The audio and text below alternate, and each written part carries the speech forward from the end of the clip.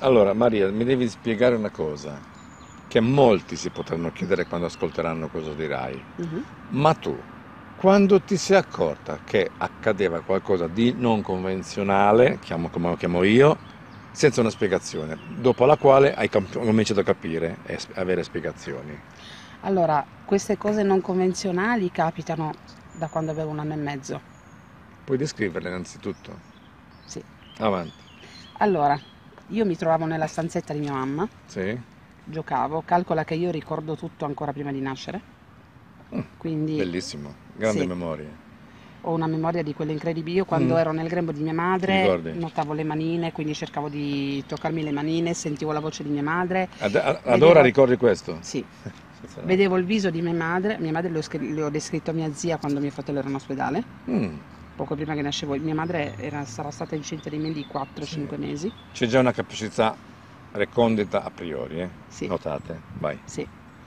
E, mm, sono nata, comincio a vedere, avevo un anno e mezzo, eh, anzitutto comincio a dirmi, sta arrivando la mia amica e dico anche un nome, ma questo nel pensiero.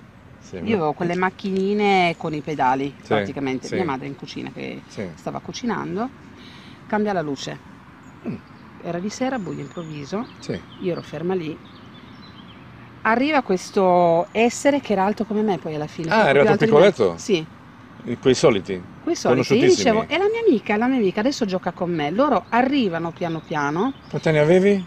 un anno e mezzo. Ah, eri pic- piccinetta, allora sì, pensavi che ci fossero i, so- i famosi coniglietti che vengono a giocare con me. Esatto, arriva la mia amica. Io non è che dicevo arriva la grigetta, perché io non sapevo assolutamente che Sì, sì, sì. neanche cosa fossero. L'hai scoperto poco tempo fa. Esatto, io pensavo fosse un'amica immaginaria, un fantasmino che mi veniva a trovare, tutto Sì. quanto.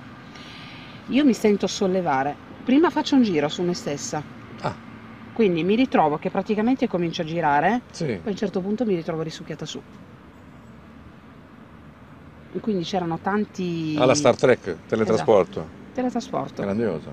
Però io eh, ricordo un tunnel, come posso dire, mentre mi, mi ricordo Sì. che si apre un varco, Il varco, un tunnel varco so- solito, classico. metallico con Sì, tanti quadratini, Sì. poi a un certo punto questi quadratini si uniscono e di, un- e di una tinta unita. Sì. E non mi mettono nella barella, mi tengono in braccio.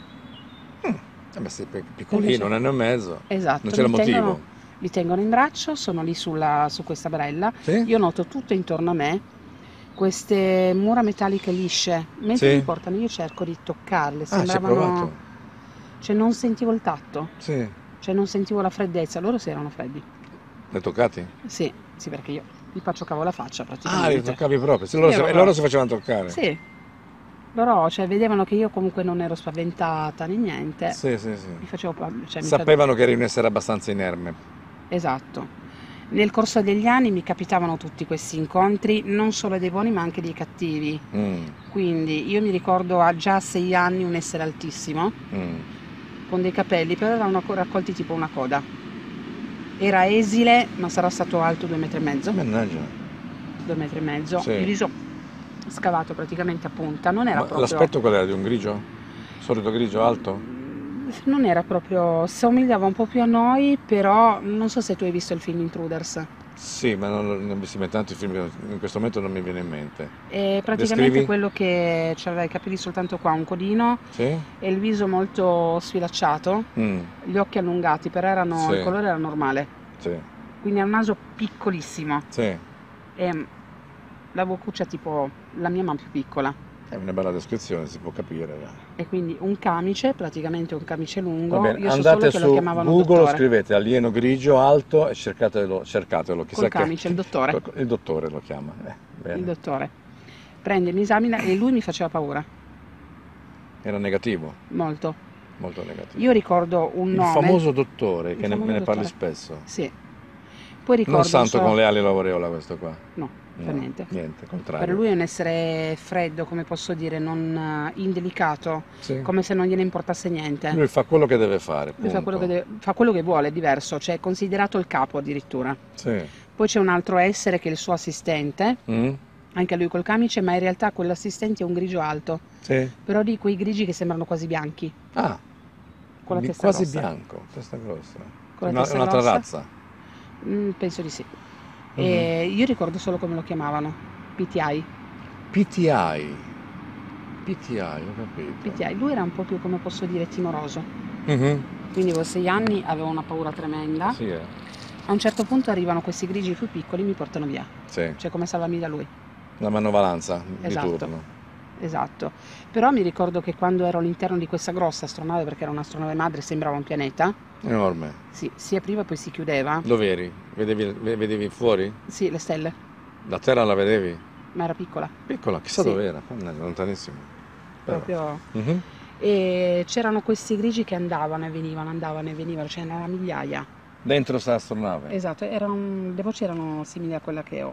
fatto Ah, le voci come quella che ti ho fatto sentire. Sì, ma ce n'erano tante proprio. Quindi tutto sommato questa- questo audio che ti ho fatto sentire è, È da- è davvero reale. Sì, Pensa che l'ho fatto già sentire due o tre volte, ma la gente è distratta, non ci ha mai fatto caso. Invece Perché ha forse non vuole. grandissima attendibilità. Bene. forse non vuole farci caso. Forse non vuole farci caso, bravo. E quindi no, Sì, no, sì. la voce attendibile perché riusciva persino a capire cosa diceva. Spettacolo. Perché loro parlano in un'altra lingua, ma Mhm. io riesco a capirla. Ah, Cioè riescono a farsi, a farsi capire, come se in realtà la loro lingua me l'avessero insegnata. sì, la sai a livello mnemonico, diciamo, di cerebrale. Esatto. E ho cominciato a rendermi conto di chi erano più o meno Mm. verso i 16 anni, dopo che cominciavo a guardare tutti questi film degli alieni, Sì. dicevo ma mi sembra di averli già visti. Solo che se ne parlava poco. Quindi Sì. a parlare con mio padre Era un è argom- un no. sogno. Era solo un argomento di nicchia una volta.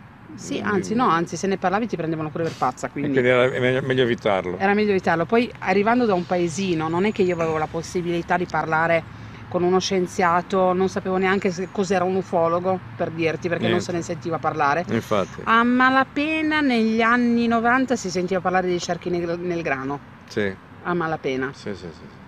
E io avevo cercato di, mi ricordo a 16-17 anni, avevo cercato di contattare il centro astronomico di Monza, Sì. parlando con loro, Sì. perché mi ricordo che ero andata in gita Mm, a vedere all'osservatorio e parlavano appunto dei messaggi che loro inviavano all'universo, sì, tipo Seti. esatto, Mhm, e per vedere se c'erano risposte dall'altra parte. Sì. Per cui ho parlato con loro, gli ho detto Eh. guardate a me sta capitando E loro cosa questo, ti hanno detto?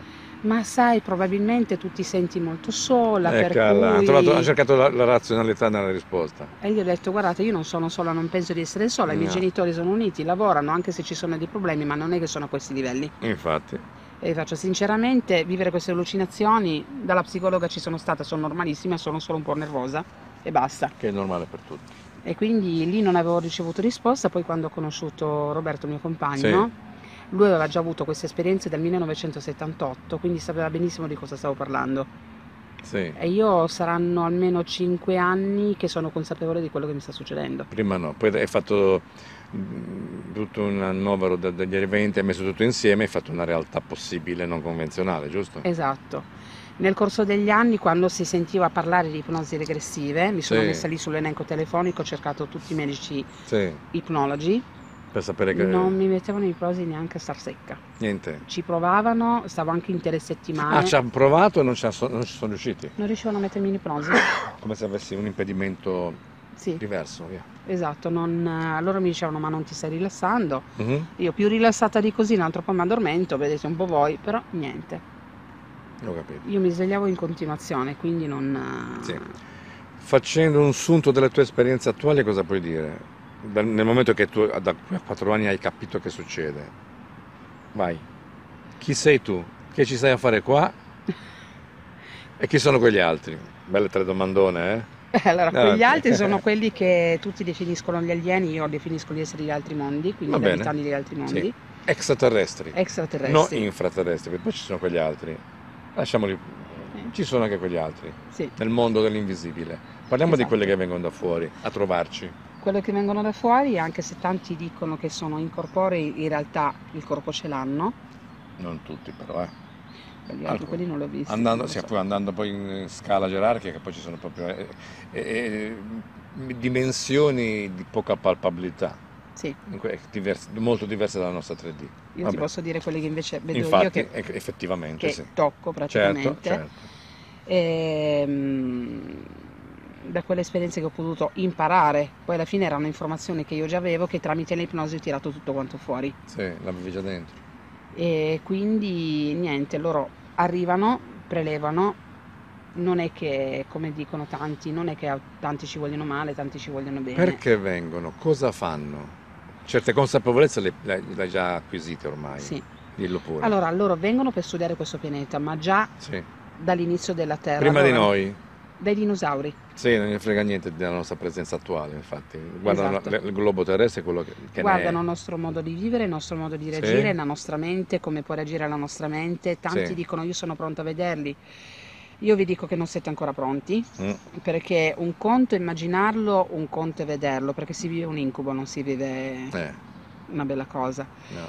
Loro sono consapevoli che fisicamente sono diversi da noi, quindi ci vanno piano, Sì, perché non vogliono scioccare la nostra mente. vero anche quello. Oppure Diciamo- si manifestano nel, nel momento, diciamo, mentale come vogliamo meglio noi. Esatto, loro arrivano Sì. piano piano, Sì. cominciano a dire eh, ciao io sono eh, possiamo entrare, vuoi diventare mio amico, vuoi giocare con me, perché loro arrivano quando siamo molto piccoli. Ah, lo fanno già da, da tanto tempo. Esatto, da- da- calcolando che preleano già i nostri genitori prima di noi. Sì, e questa è una notizia, questa è un'informazione che tu hai già, Esatto. testimoniabile. Sì, Ok. Testimoniabile perché facendo queste ipnosi regressive io sono arrivata, è brutto dirlo, Eh, sono arrivata ancora eh, nel momento del concepimento, mi sono ritrovata nell'astronave all'interno di un'ampolla, ti ricordi anche quello? sì. Spettacolo. ero microscopica Eh, e mia madre era distesa nel lettino. tutto, hai hai visto tutto. Ho visto tutto, cioè noi abbiamo ancora memoria praticamente dall'atto del concepimento perché Sì. la mente è, una me- è la prima cosa che si sviluppa, perché deve sviluppare tutto il resto. Quindi tutto quello che mi dici mi rappresenta una, una tua forma di ibridicità, giusto? Esatto, Per forza, se no non, non non ti saresti vista nell'astronave nell'ampolla. esatto.